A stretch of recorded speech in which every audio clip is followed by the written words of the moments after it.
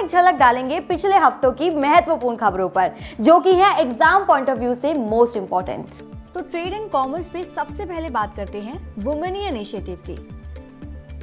17 जनवरी को the government e market place जिसे जीईएम भी कहा जाता है it has launched the new initiative called Womenia on GEM to empower women entrepreneurs and women self-help groups to sell their products directly to various government ministries, departments and institutions. ये वुमेनिया initiative इसलिए भी important है because nearly 80 percent of women own establishments self financed है and more than 60 percent of 8 million units are owned and और led by women entrepreneurs from socially challenge sections of the society ये जो initiative है it is represented by artist Anukta Anukta M Ghosh's artwork मगन and illustration of women empowerment and grace Products like handicrafts and handloom, accessories, jute and coir products, home decor and office furnishings are categorized for ease in procurement. 20 जनवरी को भारत सरकार ने recently performance assessment review and analysis of knowledge for holistic development Parakh को launch किया है to assess the performance of secondary and higher secondary students तो क्या मकसद है इसका Parakh will bring uniformity to the analysis procedures It is to function under NCRT. It will release guidelines to the state and central boards and it will conduct national achievement survey. ये कई international organizations और education boards के साथ भी काम करेगा। 20 जनवरी को केरला गवर्नमेंट ने मेंस्ट्रुअल लीव को इंट्रोड्यूस किया है for the girl students above the age of 18 years तो आपको ये भी बता दें कि मेंस्ट्रुअल लीव का कंसेप्ट सबसे पहले Cochin University of Science and Technology द्वारा शुरू किया गया था। Till now, there are no laws on menstrual leave in India. However, certain private companies are offering menstrual leaves to their female employees like Swiggy, Maxter, Gozoop, Zomato, etc. इसका प्रस्ताव lifestyle में आए recent और rapid changes को मद्देनजर रख के सामने लाया गया है। Indian and the Egyptian armies are to conduct the first ever joint exercise Cyclone one it is to be held in Jaisalmer Rajasthan for 14 days तो क्या खास होगा इसमें? ये उन स्किल्स पर मेनली फोकस रहेगा which are necessary to fight in desert terrain undertaking reconnaissance counter terrorism and other special operations 30 to 40 special forces इस एक्सरसाइज में पार्टिसिपेट कर रही हैं and the armies will engage in combat and receive training in sniping surveillance free fall etcetera 21 जनवरी 2023 को खबर आई है कि सुप्रीम कोर्ट ने बिहार में कास्ट बेस्ड सेंसस के खिलाफ याचिकाओं पर विचार करने से इनकार कर दिया है। आपको बता दें कि बिहार गवर्नमेंट ने रिसेंटली एक कास्ट सर्वे लॉन्च किया था जिसका उद्देश्य मोबाइल एप्लीकेशन के माध्यम से पंचायत से लेकर जिला स्तर तक हर एक परिवार का डिजिटल रूप से डेटा इकट्ठा करना है However, petitions were filed to overturn the notification claiming that the caste-based census violated the basic structure of the constitution.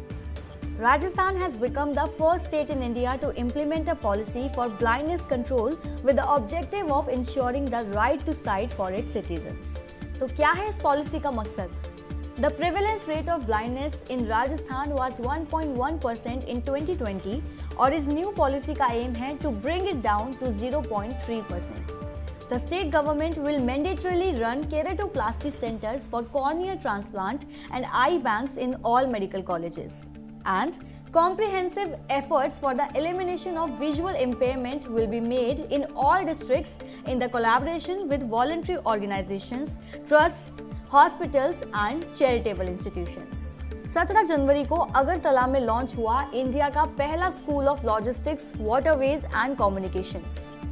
So, who inaugurated it? The Union Minister of Ports, Shipping and Waterways, Ayush Savarnanda Sonowal, along with Dr. Manik Saha, Chief Minister of Tripura, jointly inaugurated the school. ये school state institute of public administration and rural development के under setup किया गया है and this school will enable the innate capacity of human resources along the opulent waterways of the region जी हाँ कोल्लम बन गया है देश का पहला constitution literate district the campaign aim to provide constitutional literacy to 23 lakh citizens belonging to 7 lakh families in the district Kollam also known as Quilon is an ancient port city located on the banks of the Ashtamudi lake in the Indian state of Kerala and it also helps the government's efforts to improve secularism and the social environment. The Ashtamudi Lake in the Indian state of Kerala. And it also helps the government's efforts to improve secularism and the social environment. बात करें science and technology की तो startup firm IG drones जो कि उड़ीसा के संबलपुर में स्थित Veer Surendra Sai university of technology द्वारा शुरू किया गया था It has developed a 5G enabled drone that is capable of vertical takeoff and landing. Things you should know about it is that this drone can carry a 10 kg payload and has an endurance of around 5 hours. इसको develop ही यही सोच के किया गया है कि ये डिफेंस और मेडिकल सेक्टर्स की नीड को पूरा कर सके and it can be operated from any terrain without the need of a conventional runway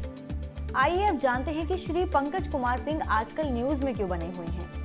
So, retired Director General of the Border Security Force BSF Shri Pankaj Kumar Singh was recently appointed as the deputy as the Deputy National Security Advisor in National Security Council Secretariat for a period of 2 years. He is an IPS officer from the Rajasthan Cadre of 1988 batch has an MBA from the IIM Ahmedabad in addition to his LLB and MPhil degrees. He had served with the Union government as Inspector General of the Central Reserve Police Force CRPF in Chhattisgarh and IG Operation CRPF headquarters in Delhi and retired as the BSF chief on December 31, 2022. 16 जनवरी 2023 की report पर नज़र डालें तो भारत में सबसे अमीर एक प्रतिशत लोगों के पास अब देश की कुल संपत्ति का 40 प्रतिशत से ज़्यादा हिस्सा है। Yes the richest one percent of people in India now own more than 40 percent of the country's total while the bottom half of the population together share just three of wealth according to a new study by Oxfam international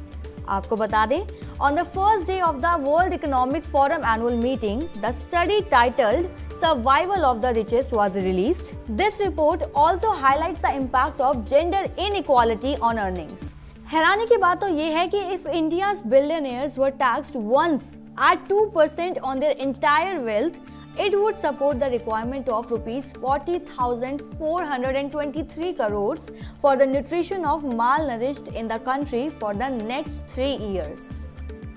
On 16 January 2023, the World Economic Forum WEF has released the 18th edition of Global Risk Report 2023.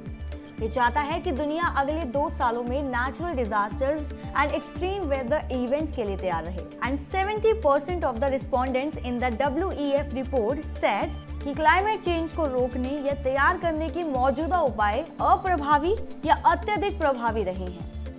16 जनवरी को आई UN world social report 2023 के मुताबिक बढ़ती उम्र वाली दुनिया में किसी को पीछे नहीं छोड़ते हुए अगले तीन दशकों में दुनिया भर में पैंसठ वर्ष या उससे ज़्यादा उम्र के व्यक्तियों की संख्या दोगुनी होने की उम्मीद है। और इसमें north Africa west Asia and sub Saharan Africa are expected to experience the fastest growth in the number of older people over the next three decades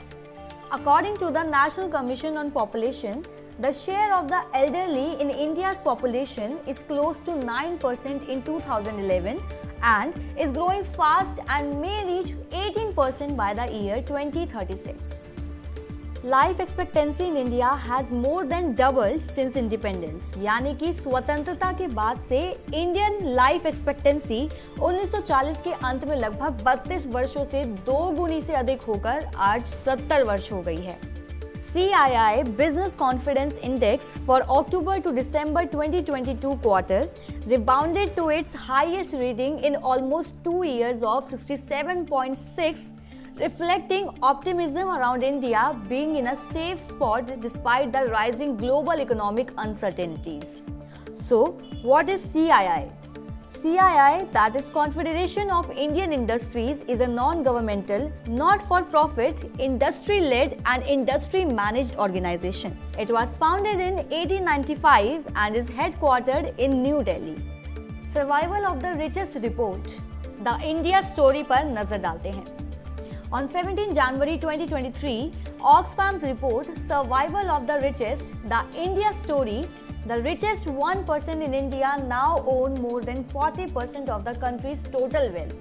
while the bottom half of the population together share just 3% of wealth between 2012 and 2021. तो क्या है इसके पीछे की वजह gender inequality yes the report also highlighted gender inequality in India ये बताते हुए कि पुरुष श्रमिकों द्वारा कमाए गए प्रत्येक एक रुपए के लिए महिला श्रमिकों को केवल तिरसठ पैसे मिलते हैं। और social inequality Oxfam India stated that the country's marginalized communities such as Dalits, Adivasis, Muslims, women and informal sector workers are continuing to suffer in a system that prioritizes the survival of the richest. On 21st January 2023, the 53rd edition of the annual World Economic Forum Summit was held in Davos, Switzerland. Its theme was Cooperation in a Fragmented World. जलवायु पर व्यापार मंत्रियों का एक नया गठबंधन शुरू किया गया है जो जलवायु व्यापार और सतत विकास पर अंतर्राष्ट्रीय सहयोग को बढ़ावा देने के लिए 50 से ज़्यादा देशों को एक साथ लेकर आ रहा है। And stakeholders across the world stressed the value of free trade